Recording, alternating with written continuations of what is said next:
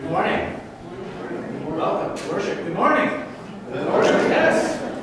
Small in number, but loud in voice. It is a good thing to gather. You have made it into this place despite the cold and the snow. Uh, give thanks that you don't live in Newfoundland or perhaps some of those other places in the world where they are almost buried in the snow.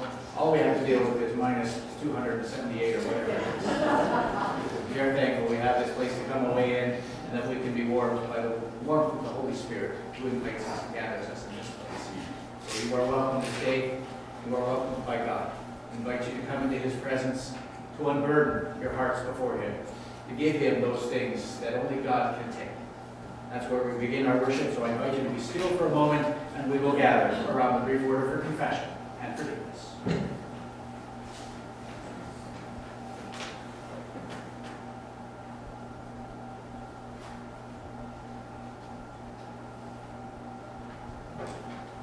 With the congregation, please rise. Family of God, we gather to worship today as we live our lives in the name of the Father, and of the Son, and of the Holy Spirit.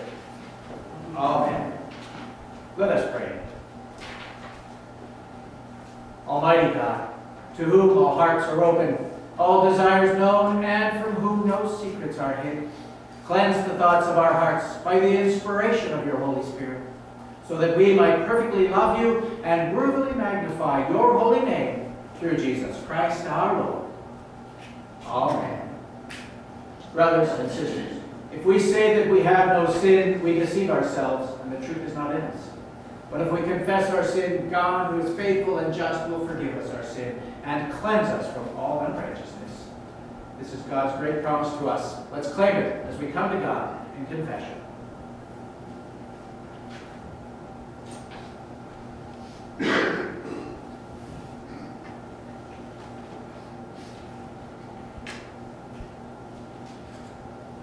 Most merciful God, we confess that we are in bondage to sin and cannot free ourselves. We have sinned against you in thought, word, and deed, by what we have done and by what we have left undone. We have not loved you with our whole heart. We have not loved our neighbors as ourselves. For the sake of your Son, Jesus Christ, have mercy on us. Forgive us, renew us, lead us, so that we may delight in your will and walk in your ways to the glory of your holy name. Amen.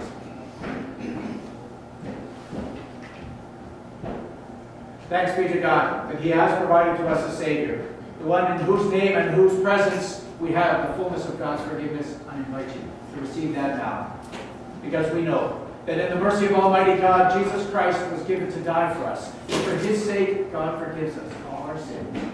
As a called and ordained minister of the Church of Christ, and by his authority, I therefore declare to you the entire forgiveness of all your sin, in the name of the Father, and of the Son, and of the Holy Spirit. Amen. We are reconciled to God. We can lift our hearts and our voices. Let us do so as we proclaim, Our God saves.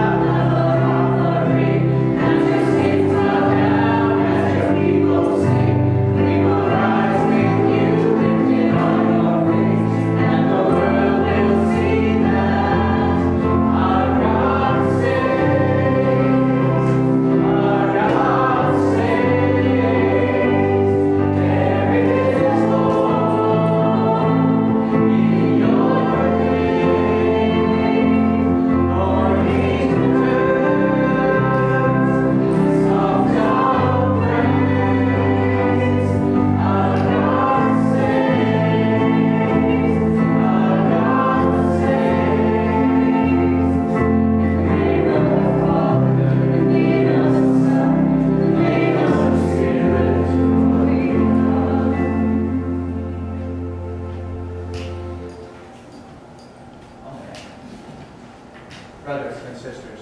The grace of our Lord Jesus Christ, the love of God, and the communion of the Holy Spirit be with you all. Let us continue raising and praising God as we sing together, You have come down to the lakeshore.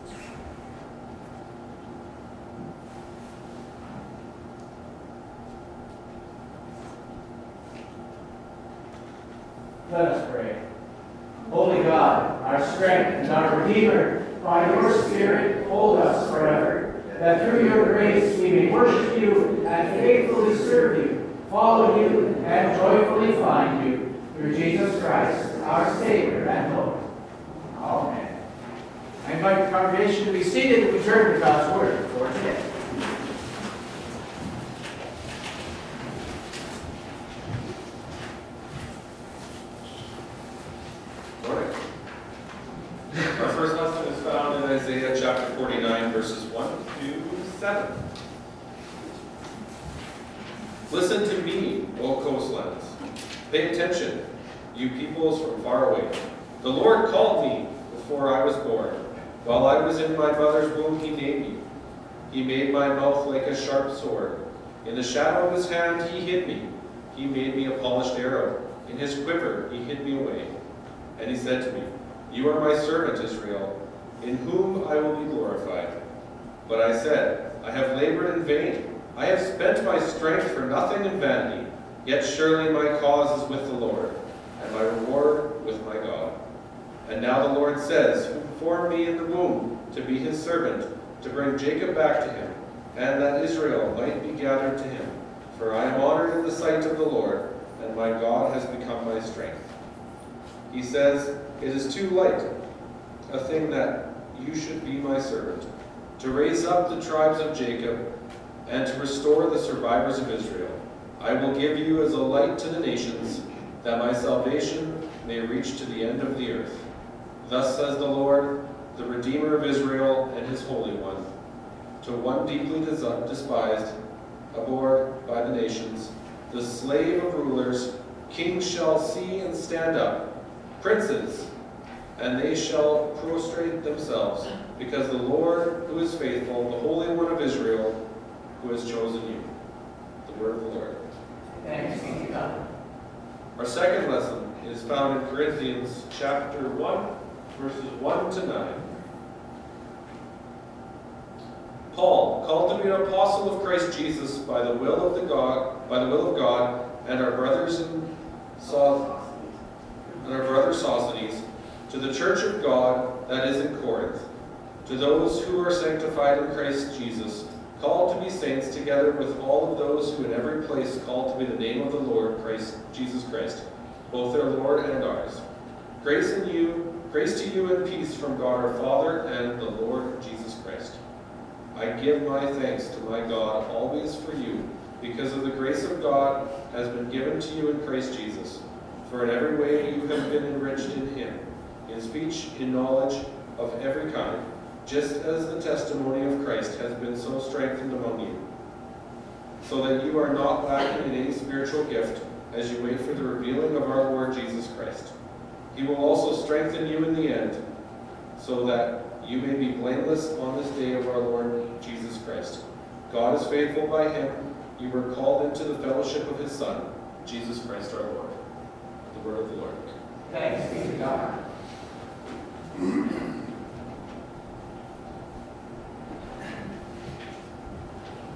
We give attention to God's word today, but I want to share just a brief moment of personal, just uh, in case I seem a little off today, I want you to be aware that occasionally I get vertigo.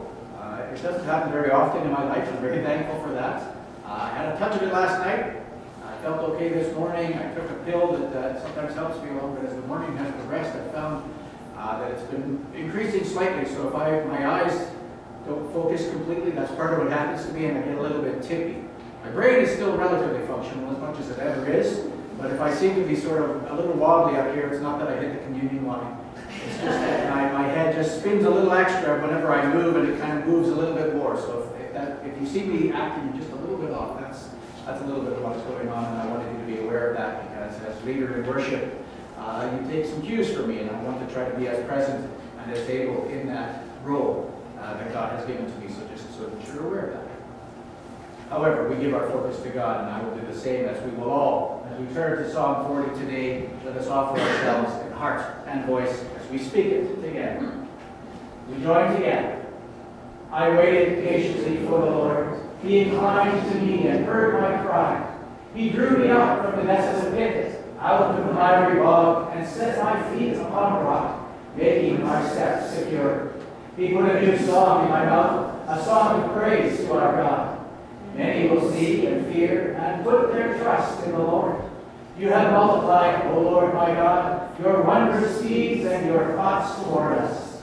Happy are those who make the Lord their trust, who do not turn to the proud, to those who go astray after false gods. None can compare with you. Were I to proclaim and to tell them, they would be more than can be counted. Sacrifice and offering you do not desire but you have given me an open ear. Burnt offering and sin offering you have not required. Then I said, Here I am. In the scroll of the book it is written of me. I delight to do your will, O my God. Your law is within my heart. I have told the glad news of deliverance in the great congregation. See, I have not restrained my lips, as you know, O Lord. I have not hidden your saving help within my heart. I have spoken of your faithfulness and your salvation.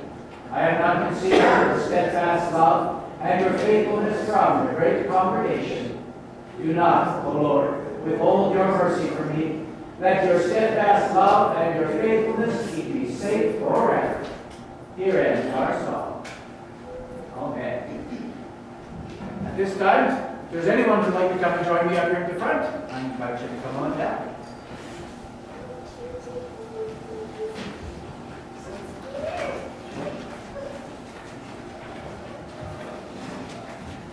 Good morning. How y'all? I'm gonna sit with you, is that all right? Can you hear me and see me from over there? Good. Thank you for joining me up here at the front. How y'all keeping? Good well. Glad to hear it. Well, you know, I, I have something that's really, I think is pretty neat. And I want to tell you about it for just a second, if that's okay. It's, uh, it's relatively small. And it's kind of like a box, maybe, or, or like a chest. I guess you might say it's got a, it's got a lid that, that'll come off, and it's got horns. So it sort of almost kind of looks a little bit like a cow, but it's, but it's for food, it's for cheese, is what it's for. Uh, and it's got a thing in it that's kind of hidden in there that you might not know is there. And then if you use that thing, you can you can work with cheese and you can kind of you can kind of scrape it, I guess you'd say, so that you get cheese uh, that you could use, kind of like a like, like a cheese grater. Yeah, it's kind of like a cheese grater, it's not really just a cheese grater. It's got a cheese grater, but it's more than a cheese grater. And it's kind of yellow, but it's not, not entirely yellow. It's kind of like it's yellow, yellow ivory colored, and it's it's it's like about kind of this size, and it's got it's got like I said, it's got horns, which is really weird. And oh, it's got a spoon, and uh, it's really really cool, so cool. And I'm glad that I was able to tell you about it, because now you guys really know exactly what I'm talking about, right? You don't? You don't know what I, I but I, I tried to describe it. Didn't I do a pretty good? I told you all the aspects about it, but you don't really know what it is like. So I'll tell you what. Come see. Come with me. Yep. Come on down. Come. Come with me. I actually have. I can show it to you. I don't know if everybody else out there is going to be able to hear. But I'll show you. Huh? Now you see? You thought it might be bigger than that? I'll tell you what, let's head back up there because I, maybe we should share it there. You thought it was a hat. No, I said it was a box. But here it is. Now you have all seen. And you can go and try to describe it to other people, couldn't you? I'll show it so everybody else here has an idea. See, little cheese grater hidden inside the lid. One of the horns, kind of like horns. A spoon you can use to distribute that cheese that you grated up. And it's very decorative, and it's kind of yellowish ivory color, right? So now, now that I've done all describing and you see what it is, you really know. I want you guys to listen to our gospel reading real closely. Because there's a lot of people saying different things about Jesus, and so people are trying to figure out who is this Jesus? What is he like? And Jesus says, Come and see. Until you actually walk with Jesus, you don't really know what Jesus is like as we give ourselves to Jesus in prayer, as we talk to Him each and every day, as we read about Him, hear Scripture, as we come into this place in worship, and as we say, by your Spirit, show me more and more of yourself, Jesus. That's the way we get to know Him. We have to see it. You guys are still pretty early on in that stage of your life, walking close with Jesus, so I hope that other people are helping you and inviting you, saying, come, come and see what He's like. Come and see who He is. How are you doing with that? We all have challenges with that. But God has given us the gift of prayer so that we can draw close to Him. If you guys pray with me and ask that God would open our eyes to our Lord. Let's pray. Dear God, thank you for this time that we have together. I know the, weather is nasty, so we think about those people who can't be here with us. We ask for blessing upon them too. But for all of us, we want our eyes and our hearts to be open so that we would see your Son, Jesus that we would know his love in our life, and that we might even sometimes invite others. Come and see. Come and see who he is, and see what he can do. Help us with that, because we ask it in Jesus' holy name. Amen. Thanks for joining us, guys. I appreciate it. Thanks for playing along so well. You guys always do that. I appreciate it. This time I would invite all of us to rise. Brothers and sisters, we join in our gospel acclamation. Turn your eyes. Please rise.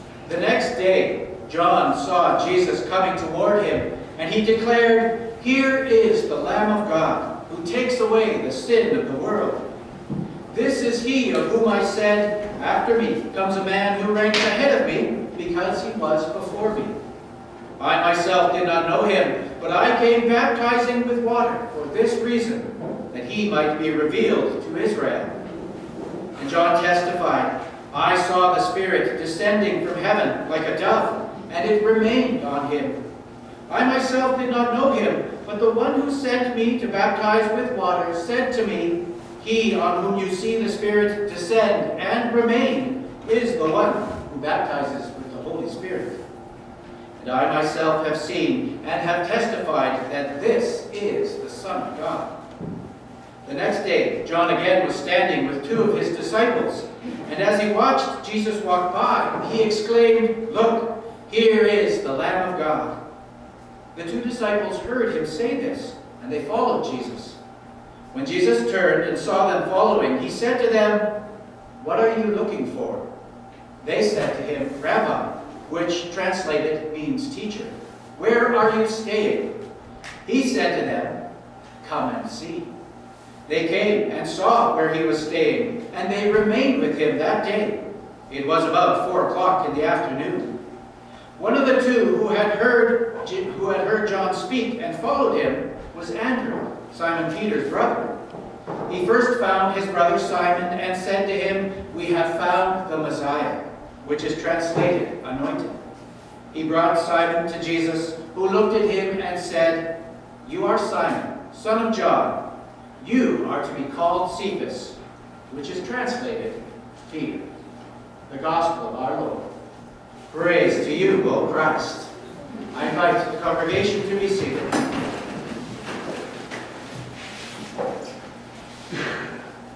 Friends in Christ, grace and peace to you from God our Father and from our Lord and Savior, Jesus Christ. Amen. You're all, well, maybe not all, but most of you probably are familiar with the uh, cartoon strip Peanuts.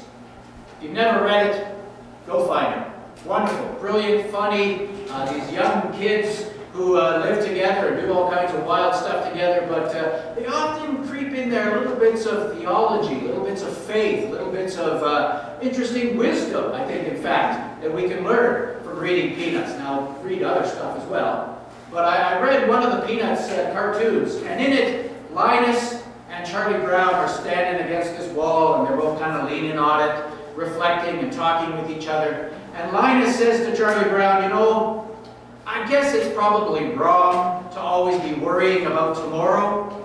Probably we should all really focus more on today. And Charlie Brown says to him, no, I think that is given up. I still keep hoping that maybe yesterday is going to get better. what faith! What wonderful, wonderful faith to believe that even yesterday might change, might somehow be transformed and become better. Now maybe that's a fool's thought, I don't know. I'm not sure that yesterday can get changed so very much. Our ideas and thoughts about yesterday maybe can change. But we come into this place and we proclaim a God who is involved in change. Now that's not a word we maybe love. We like things to stay the same. Or at least we like things to be under our control. We're not generally so big on things changing. And yet Scripture is filled with God changing people, God changing creation. That is part of God's process, is that He is a God of transformation, and He wants us to be changed and transformed, and to give ourselves into His hand so that He can lead us on that path of change, personally and communally. We heard that a little bit in our gospel today. How John the Baptist points to Jesus and says, There is the one. There is the Lamb of God who will take away the sin of the world. There is the one whom you should follow. And his followers, John's followers, in fact, John, John is so secure that he's willing to even invite his own followers to go off to somewhere else if it will mean that they receive life, if it will mean that they enter into that potential transformation. He says, not me, but that one. Follow him. And a couple hear that. Their ears are open and they go and they follow. And they're so excited by the possibility of being in the presence of this one, this Lamb, this, this Son of God, that they even go out and they invite some others. And Simon comes and Jesus looks at him and says, You are Simon? You are going to be the rock. You will be transformed by walking with me. There's a very famous sculptor from many years ago by the name of Michelangelo. Probably have heard of him. He, he created some wonderful, wonderful works of art. And there's a legend, I don't know if it's true or factual or not, but he created the fantastic sculpture named the David, this, this wonderful uh, example of the beauty of sculpturing. And somebody was talking to Michelangelo later and said, how did you do that? How did you take a giant block of marble and create this amazing work of art? And Michelangelo said, I looked at the block and then I just chipped away everything that was not David. And I think God looks at me and he looks at this block, this blockhead perhaps, named Mark. He says, I want to chip away everything that is not truly Mark. Everything that is not truly made in the image of my Son Jesus Christ, that does not bear His presence, His goodness, and His grace in this world. And that's not a completely painless or easy process, is it? And that's probably our biggest challenge. In fact, Martin Luther says that is the very nature of sin. That is the heart of it. Not, not doing wrong or not avoiding the right, but rather being self-centered focused on ourselves and not allowing God to take and to mold or to chip away or to identify in our life that this is something you need to have changed. Not necessarily, first of all, something you need to change, something you need to have changed. Because the power comes from without ourselves. We cannot do it on our own. We have limited powers in this world. Yeah, we can affect certain amounts of change in our life, but the power needs to flow to us from the one whom we follow, from the one whom we stay close to the one whom we wait on, even if we have to wait a while, saying, Lord, reveal to me. I'm hanging on to you. And that's an interesting term, hang on. Because I know not all of you know Greek. I don't really know Greek either. Thankfully, I have books and other things that I can turn to. But there's this term that shows up in Scripture a lot. And it's a Greek word that is meno. And you don't have to remember that. But it means to abide, or to remain, or to stay with. But in slang, it means kind of hang on to or hang out with. And I wanted to use that term, to hang on to or hang out with, to read a little bit of John. So stick with me here, because in this passage that we just heard, uh, I'm going to try and see if we can translate that word in there and see if it, if it resonates with us. This is uh, from about verses 32 or so. John testified, I saw the Spirit descend from heaven like a dove, and it hung on to this one. I myself didn't know him, but the one who sent me to baptize with water said, The one you see the Spirit descend and hang on to is the one who will baptize with the Holy Spirit. And then a little further on, Jesus is traveling and these disciples are following him, and Jesus says, What are you looking for? And they say, Rabbi, where are you hanging out? Jesus says, Come and see. And they saw where he was hanging out, and they hung out with him all that day. I don't know, I don't want to make it too gentle in a sense, but Jesus says, come and hang out with me. Make sure that you are taking time to be with me patiently and attentively. It's a little bit like this. I heard a story about a little boy who was at a shopping mall. He's standing by himself at the bottom of an escalator, and he's just he's just gazing intently at the railing. You know, have you ever you know the railing that moves? He's just staring at that. And a manager at one of the stores notices this and thinks, maybe he wants to go upstairs, but he doesn't really understand escalator, he's nervous about it, he's worried, so he went out there and he said, excuse me, son, uh, is everything okay? Are you lost? And he kept staring at the railing and he said, no, I'm waiting for my chewing gum to come back around. Sometimes it takes a while, but it takes focus. It takes attention. We move now into the season called Epiphany. And this whole season is intended to be dedicated to the notion that God wants to reveal God's self. That's what the word epiphany means. It means having a revelation, a moment of enlightenment in which God breaks through in some way. And our ELCIC, the national church, has developed a program saying that all people are encouraged to take on four marks of discipleship this coming year. That they are to read, first and foremost, read the Bible. We don't do that so very well. We come into this place in church and we hope, okay, I'm going to hear the Bible being spoken, and that's a good thing. But we get a lot of readings, and sometimes it kind of blurs together. We don't get it all. So we need to be at home, taking time with Scripture. Just a little bit. You don't have to go and try to read the whole thing in one shot. But take on perhaps one of the Gospels and say, for the next several months, I'm going to read my way through the Gospel of Matthew. That's the year we're in. And it also says that we are to pray. We need to be people who commune with God prayer. Whether that's actually speaking to God or just silently saying, Lord, let me be still. Know that you are God and you do the talking. But we need that dedicated time of being in prayer. And it says, serve. Find ways that you can give the gifts that God has given to you. Maybe here in this community, some of you are taking on uh, new roles, whether that be leadership or whether that's reading scripture or, or serving communion uh, or maybe through your financial stewardship, you're growing, or you should examine that perhaps as we start a new year. There's a lot of ways in which you can serve this community, but not only this community. You've got people in your circle who need to know they are beloved, that God loves them just the way they are, but God loves them enough not to leave them the way they are. And He will lead them into new ways of thinking and being and acting in the world, just as we on that path with our Savior as well. And this uh, this uh, thing that this program that the National Church has put out also encourages us, and it just puts it very simply to love. That at the very heart of all we do is not transformation only comes when we know that we are cared for, that we are loved, that there is somebody who's there with us and for us. I don't know about you. I don't to do that very well. I need the one who takes away my sins, the one who reminds me of who I am, and who tells me that I am free to go and try it again, because it's a long journey. I heard another story about a little boy who was talking to his grandma and his grandpa. He was about to start grade one, right? Wow, got through kindergarten, school is moving on. He says, this is great, grandma and grandpa, I'm going to be taking grade one. And then after that, I'm going to be into grade two. And then after that, I'll take grade three. And then I'll be, wow, I got a long way to go. We got a long way to go. None of us, none of us are there yet. It takes a lifetime and beyond. Our hope rests even beyond this life, that the transformation that God will bring to us is God's work, and God will bring it to completion. We heard that in 1 Corinthians, where Paul says, You will be strengthened by the Holy Spirit to attain to that day. You will win the kingdom.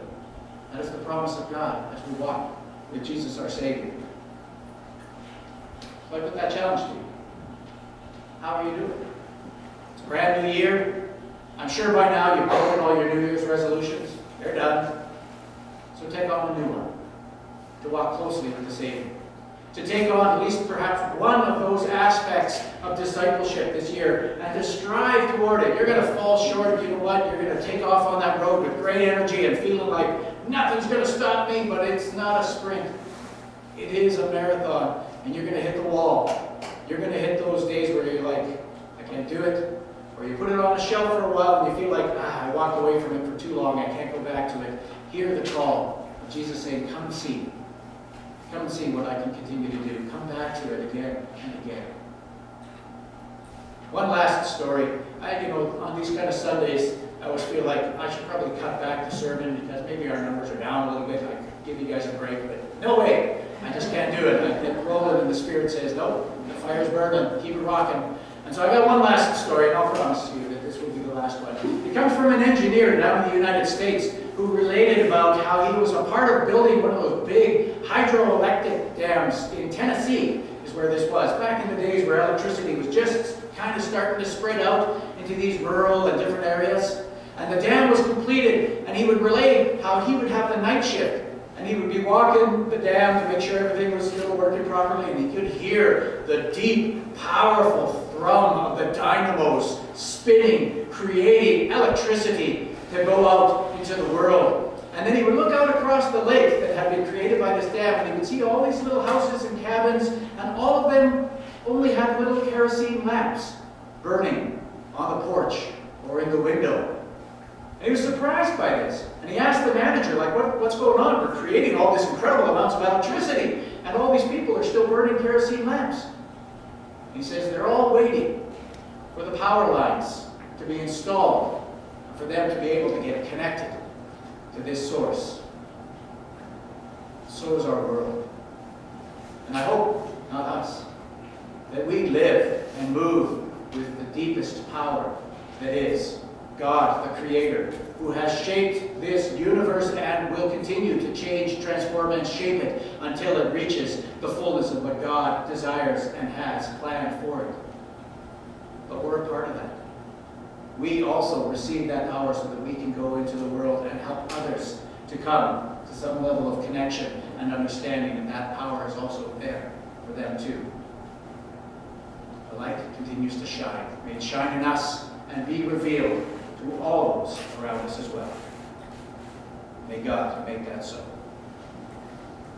Amen.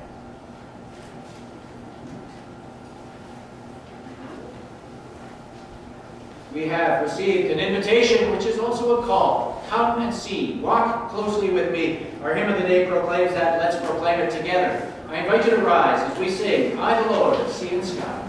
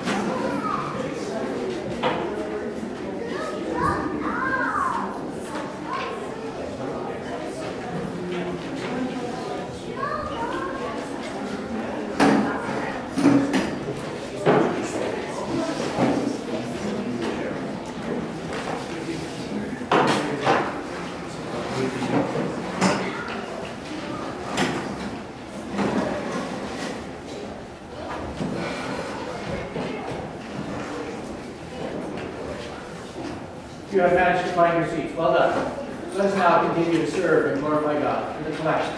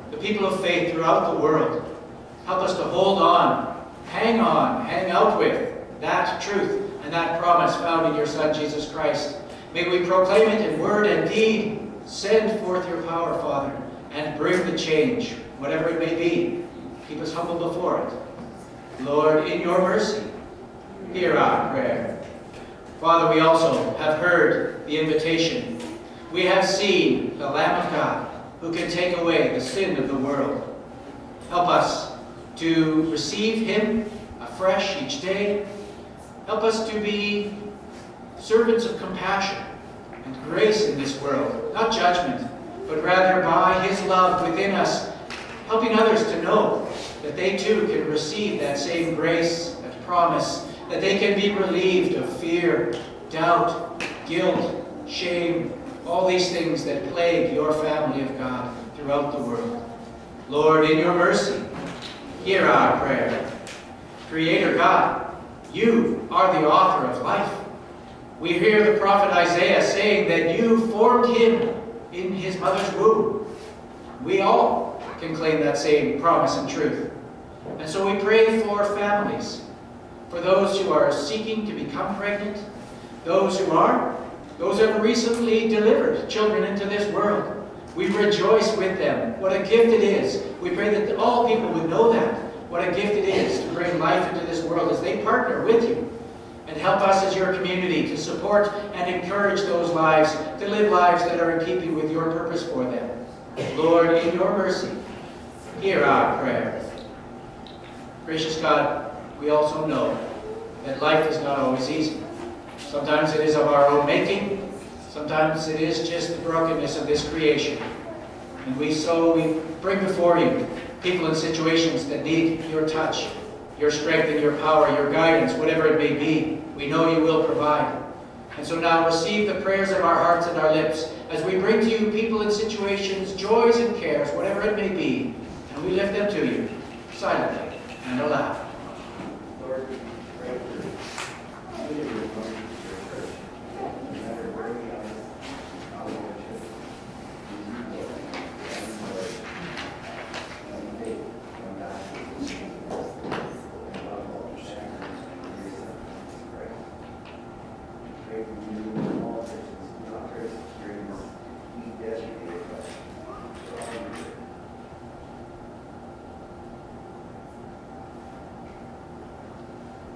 For people throughout your world, wherever there may be suffering or hardship or privation, we pray your grace would abound, that you would send forth people of good heart and goodwill who will seek to alleviate, bring healing in whatever way they may be able to.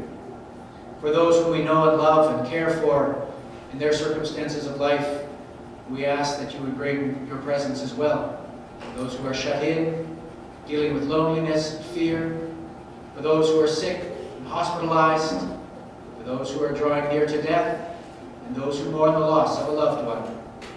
We ask that you would come and be with them. Gather your whole universe into your presence. Continually reveal your Son as Savior. Bring healing to all wounds. Make whole anything that is broken. Speak truth to all illusion and falsehood. Shed light in every darkness so that all creation will see your glory and know your Christ. All these things and whatever else you know that we need, we raise to you in the name of the one who is the Lamb of God, Jesus Christ, our Lord. Amen.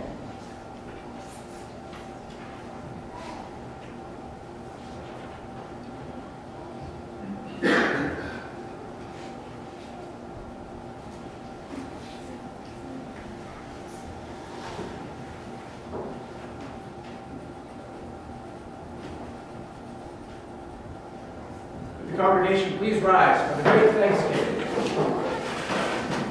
Family of God, the Lord with you. Lift up your hearts. Let us give thanks to the Lord our God. It is indeed right and salutary that we should at all times and in all places offer thanks and praise to you, O Lord, Holy Father, through Christ our Lord. Sharing our life, he lived among us to reveal your glory and your love, so that our darkness could give way to his own brilliant light. And so, with the church on earth and the hosts of heaven, we praise your name through Jesus Christ our Lord. Amen. Brothers and sisters, we remember that on the night in which he was betrayed, our Lord Jesus took bread, gave thanks, broke it, and gave it to his disciples eat, saying, Take and eat. This is my body, given for you. Do this for the remembrance of me.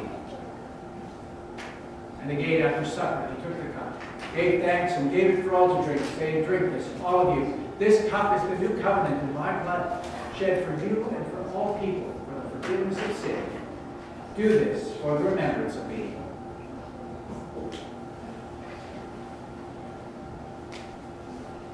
Lord, remember us in your kingdom and teach us to pray.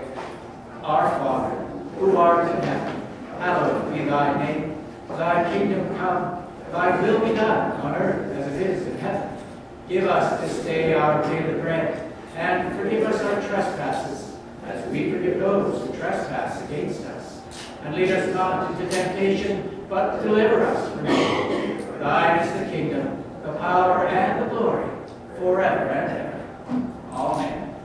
These are the gifts of God for the people of God. Come, for all is ready. Amen. I invite the congregation to be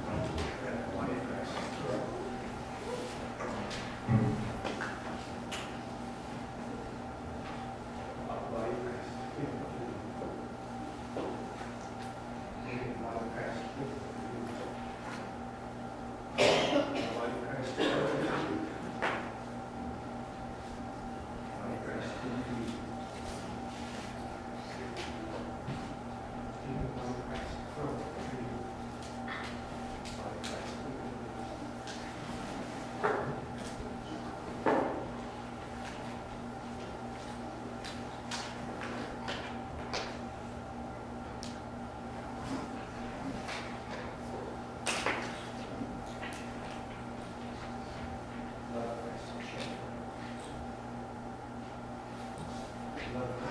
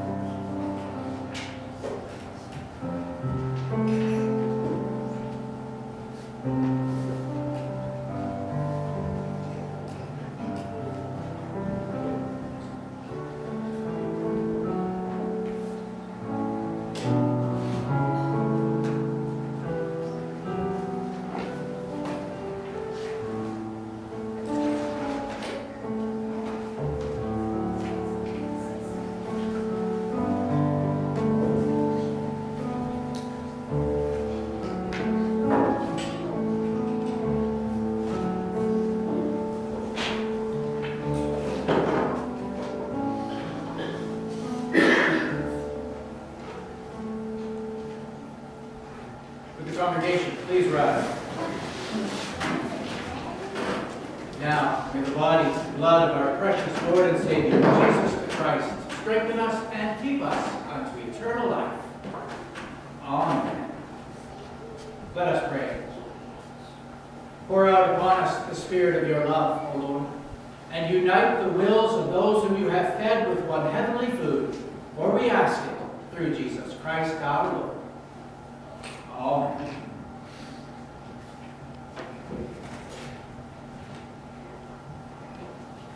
Now, I invite you to enter into the blessing of God. May the Lord bless us and keep us.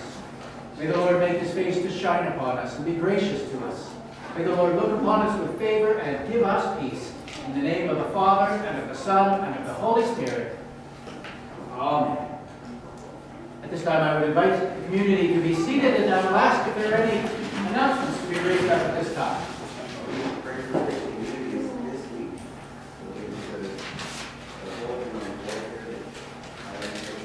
Many opportunities to worship. We share common faith, though not always common ways of entering into that faith with brothers and sisters around our city and the world. Uh, if you'd like to be a part of that, either go online or go to the bulletin board, and you will see all the various opportunities you have to worship together uh, at various locations around Saskatoon.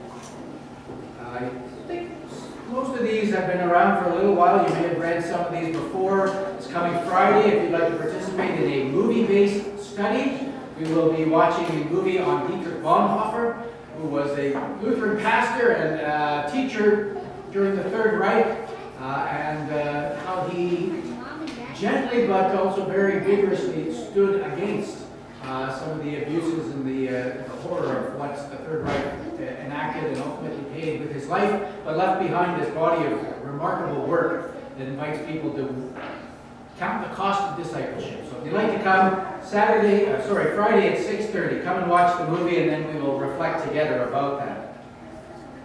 I think most of what's in here you can read. I encourage you to do so. I do not have any anniversaries to lift up. I don't know. Nobody wants to get married in January. Saskatchewan. Surprise, eh?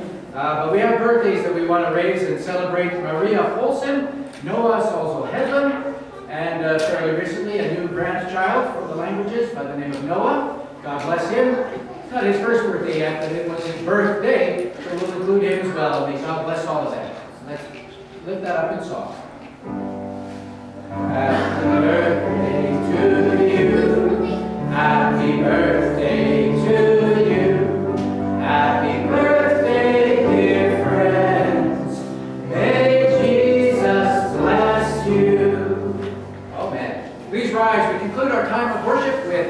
With Shine